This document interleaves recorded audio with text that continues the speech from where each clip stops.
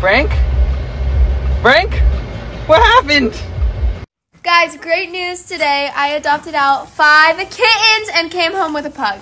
Yeah, I'm fostering this pug, so if anyone is looking for a pug, here's one right here. But yes, thank you guys to all the people who adopted and love you.